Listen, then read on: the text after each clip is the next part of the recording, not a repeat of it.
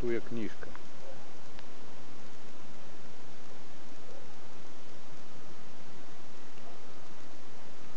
Тоже мелкие идут по 300 рублей, чуть повыше.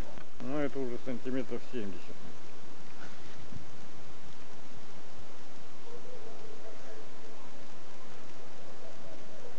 Ну, Здесь можно выбрать этих штук 200.